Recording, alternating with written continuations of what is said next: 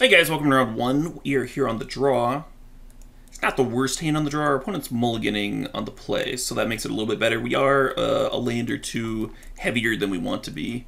Um, but like Swift Spear into Vapor Snag's a fine opener, and then the Electrolyze is more juice than the average card. It's not quite as much juice as the Snapcaster Mage, but it's close. It's real close. Oh, and if you can go Electrolyze into Snapcaster Mage, that's just all the juice.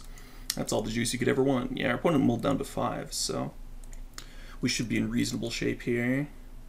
Birds of Paradise. Birds of Paradise matchups usually pretty strong for like the Electrolyze. Um, uh, Forked Bolt deck. Usually, usually we're pretty good against people trying to play Mana Dorks. Not gonna Vapor Snag on one. I might Vapor Snag on two if I think that I can lock him out with Blood Moon. But uh, I might also just try and uh, just try and get some value off of Electrolyze on three, depending on how he fetches and, and whatnot. Depending on how they fetch. Melira, okay. Well, that's half a combo.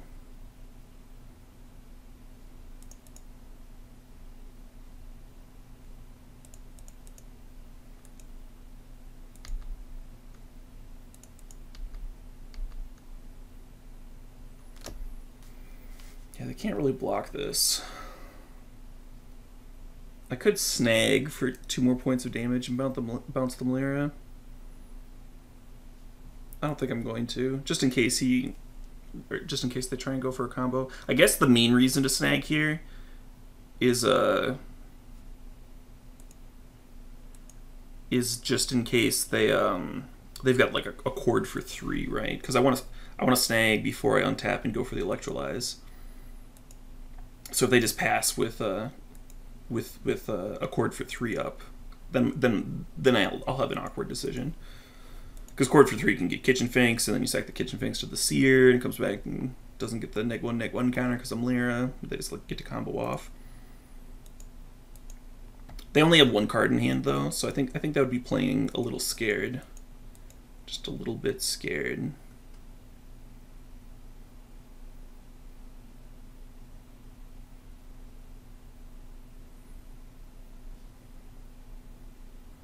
Do we let that interplay? I think so.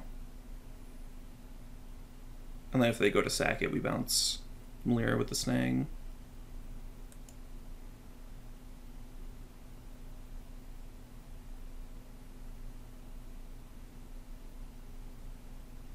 And then the electrolyze. Yeah, perfect.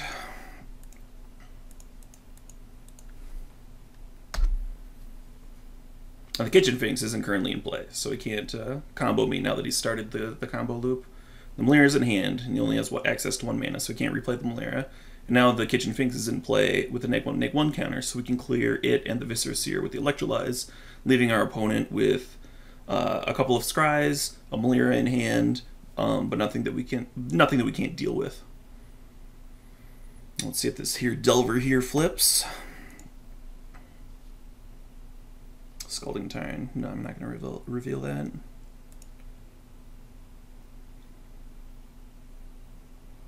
kind of want to save my fetches just in case I need them to scry with Delver. I could serve with Swift Spear, and if you put Finks in front of the Swift Spear, I don't I don't think I don't think they'd do that, but if they did, we could electrolyze here instead.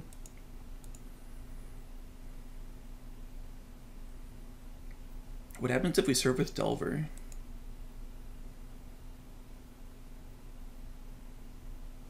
Do I hate trading Delver for Finks? Because that's an option. I kind of hate it. Delver is kind of our best threat in this matchup.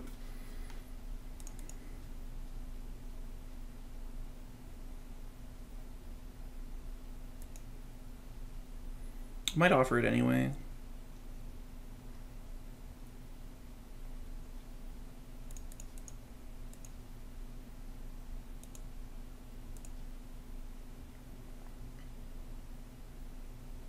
Yeah, so attack might just be bad. We can always electrolyze kill the Finks, though, if we decided to do that. Oh, jeez. We get the blowout play. Alright. Deal, sir. We have just made a bargain.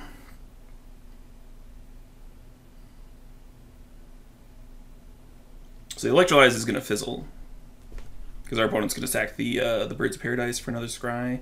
I, I think they should be cracking their Heath. Because if they Scry into a 3-drop, like an Eternal Witness... Well, I guess they could just fetch a basic Forest then, it doesn't really matter. But you don't want to shuffle in all the cards that you're scrying to the bottom, is would be my main concern.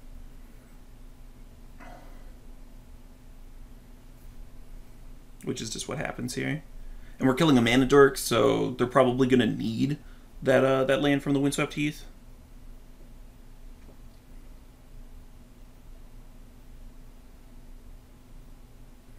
Anyway, I think they took the, the ballsier line regarding the kitchen finks. scry, scry, scry, shuffle. All right. Yeah, I think they took the ballsier line regarding the kitchen finks block because they were like, well, if they if our opponent has a spell, we're probably just losing here anyway. But I don't know if uh, I don't know if I buy it. So the Wall of Roots is a little annoying, but not the most annoying. Storm Chaser Mage. No, we're not going to reveal that.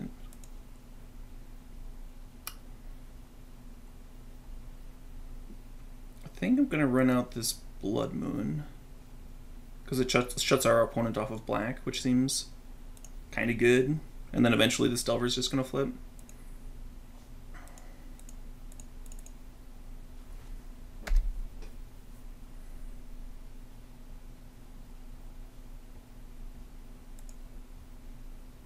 The downside to playing the Blood Moon is that we don't have a fetch to uh, to filter our draw off the Delver of Secrets. It's possible that we should have just played the Storm Chaser, served for one or whatever, and then uh, and then gotten a Scry here.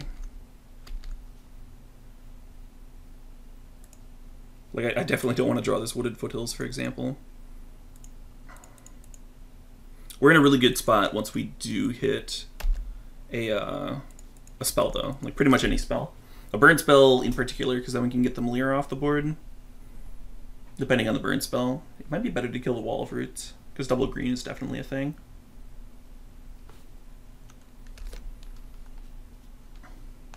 Yeah, Blood Moon, weirdly enough, does work in this matchup. Hey, another Delver.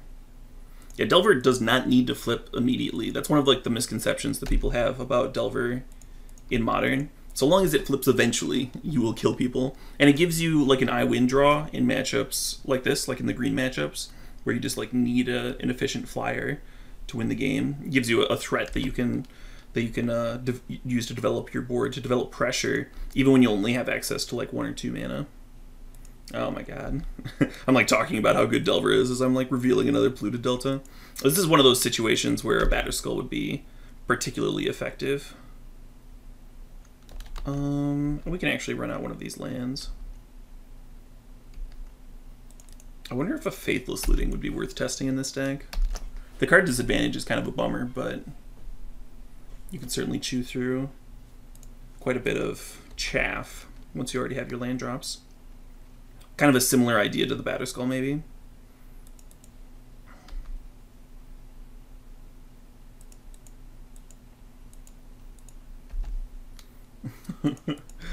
right.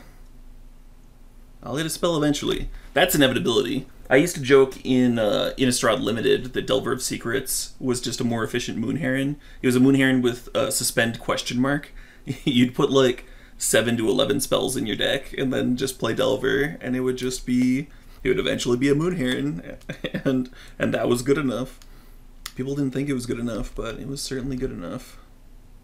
Yes, here we go. Here we go. Get some Delvers flipped. And get to see their hand. Gonna pay mana here. We have access to plenty of blue mana, so. Get some prowess triggers. Can't lose. Chord of Calling, which they can actually cast. Abrupt Decay, which they can't cast, and Viscera Seer. The Chord of Calling could go get eight Birds of Paradise. I imagine the Chord was a was a recent draw. Yeah. The Chord of Calling, getting Birds of Paradise, then turns on Abrupt Decay, which can then blow a Blood Moon, and then you can play the Viscera Seer and activate Gavony. Would be what I would expect. Hey, there's a draw. There's a draw. Did I serve with everybody? I think so. Opponent's at 14. If yeah, if our opponent wants to get cute with this Swift Spear, they can get severely burned for it. Let's see, one, two, three. Um, if these were threes, then it's just uh, Three times four is 12 plus lightning bolt. Oh, but they can chord for Spellskite? They can chord for Kitchen Finks in game two. Are we doing 16? No, it's only 15.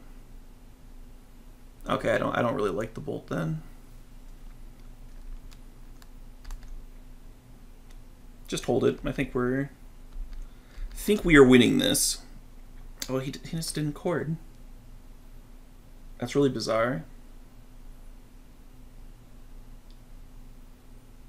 Maybe they were trying to naturally draw Kitchen Finks so they could play it and then chord for Viscera Seer and like combo off. I don't know. I don't get it. I think I would have chorded for either Birds of Paradise to have correct mana or uh, Spell Snare any good in this? I don't think it is. Or a Kitchen Finks to like offer up a block or something maybe.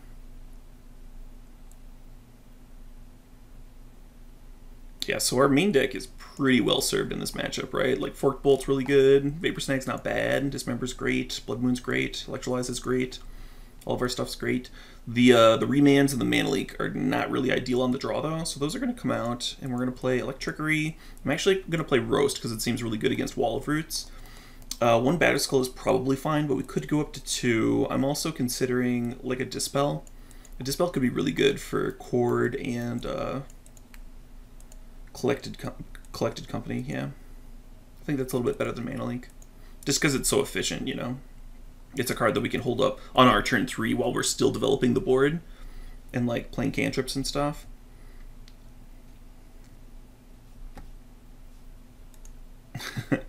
Naturally, yeah, you keep pretty much every hand with a turn one bolt in the in the noble hierarch matchups. It's like, yep, just wanna just wanna kill your thing. I mean, I wouldn't keep six lands lightning bolt, but I'd be real tempted to keep like five lands lightning bolt cantrip. That'd be a hand that I would have to think about for quite a while. Let's probe. Let's probe before we do anything here. Get get some sweet, sweet information. Wall of Roots, three lands. Okay, I think we can beat this hand. Electrolyze. Don't mind if I do. All right. Bolt your guy. Pass the turn. I might actually be paying mana for this probe because I'm going to be paying four life for dismember here. And they have one unknown in hand.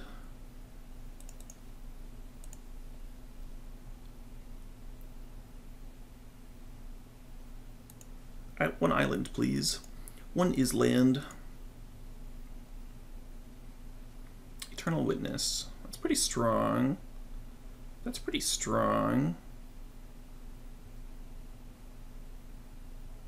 I almost just want Serum Visions. And then if they spend their turn Eternal Witnessing back Birds of Paradise, we can Electrolyze Split. But I guess we could just member Wall of Roots at their end of turn, and that's like kind of similar.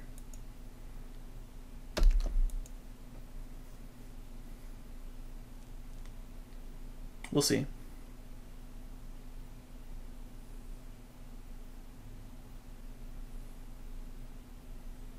It just works out better for us if uh, if our opponent goes Eternal Witness, get back birds, play birds, because then we can like spend our turn electrolyzing. Whereas if we dismember as a sorcery, right, then the Wall of Roots is dead. The Eternal Witness may or may not even get back the birds, and then uh, they have an incentive, and then they're, they're splitting it up, right? Like they would be getting in an Eternal Witness attack before they play the birds, and I wouldn't want to play the Electrolyze if I wasn't getting my value. You kind of, you kind of see where I'm getting going with this. It's just like actually much better if we just let them have the mana. It's a little counterintuitive, but I think it's correct. Uh, our hand's pretty bluish. Our hand's pretty bluish. We can get another island.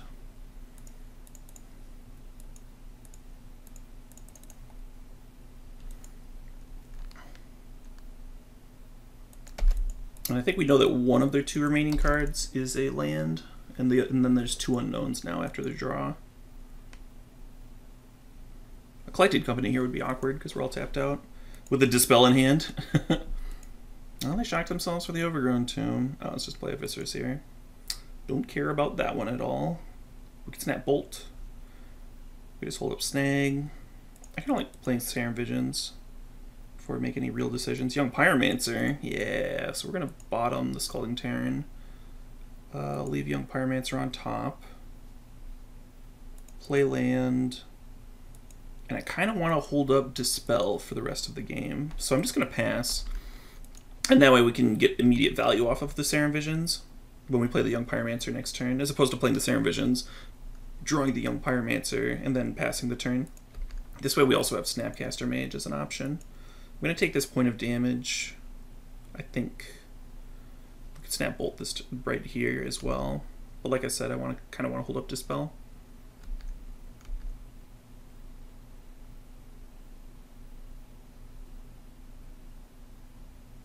Two mana, Scavenging Ooze. How much do I care about that? Not that much, I guess. We could have played Snapcaster Target Dismember in response to the ooze, and then when the ooze enters play, if he passes priority, we can dismember it. That's probably better than what we did, which was nothing, I guess. We could hold on to the snag, play Young Pyromancer, fire off Serum Vision snag. Yeah, let's do that. Let's just do that.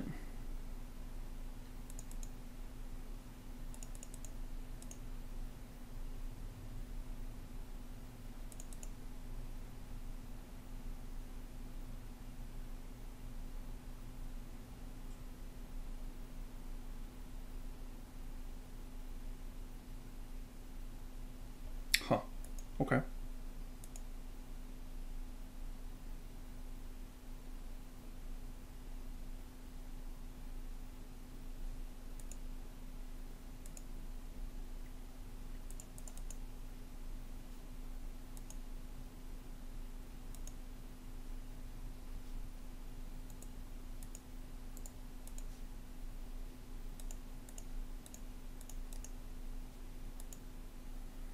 We're at a place where I don't think we're gonna get burned out by oh murderous red cap.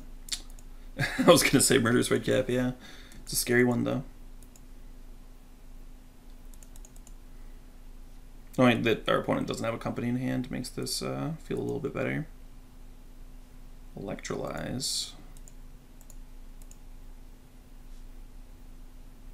Yeah, let's tap out for this. What's our opponent gonna do, right? What can they do?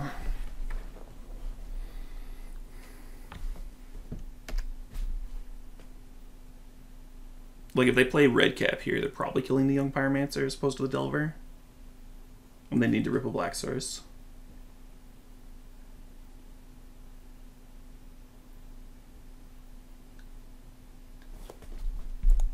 That was unfortunate. Yeah, I think we were in really good shape that whole game. We just lost to our opponent ripping the one of, uh, the old one of. It happens. It's magic. Surgical Extraction is actually not bad in this matchup, just to, due to the amount of uh, uh, Eternal Witnesses and whatnot. But it's not uh, it's not great either. Kind of like Vapor Snag. Vapor Snag's also not great. Do we want to change anything here? Still like Blood Moons. Still like Batterskull. Let's play a Mana Leak instead of this Dispel, I think like maybe a remand. Let's play let's play a leak, I guess. Could also play a surgical. Yeah, let's do the surgical. Just one of. You saw how low our life got though. We're like snapcasting back dismember and stuff. Here we go. Yeah, this is an excellent, excellent, excellent hand on the play. Turn one Delver, turn two Delver, bolt your thing can't lose. Actually can't lose. I know I say can't lose a lot, and then I and then I lose some of those hands, but this one's gonna be different. I feel it. I feel it. You always gotta trust your gut.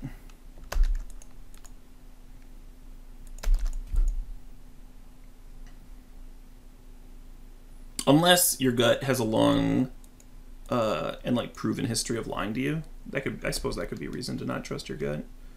Well, want to reveal a Polluted Delta? No, but thank you for the option. I should start revealing all of my Miss Delver flips, so my opponents can be like, "Oh, he's so unlucky." Then they feel bad for me, and uh, and uh, and then like kind of want me to win because uh, because I'm never hitting, like getting their head a little bit.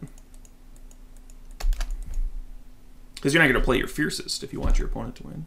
All right, Delvers, do your filthy Delver business. Oh my God! All right, all right, or, or do this. Whatever this is, we can we can do this. Meanwhile, our opponent missed their second land drop, so we're not we're not even the unluckiest. Delvers still have plenty of time to do their thing. Oh, they would have flipped. They would have flipped. Maybe I should have spent my turn setting up the Delver flips with the with the Serum Visions. just concedes. My opponent. This is a premature concession because even with these Serum Visions, these Delvers are never flipping. It's just go seven cards deep towards a spell. Just nope. Just anyway. Uh, yeah. GG's opponent on to round two. On to round two.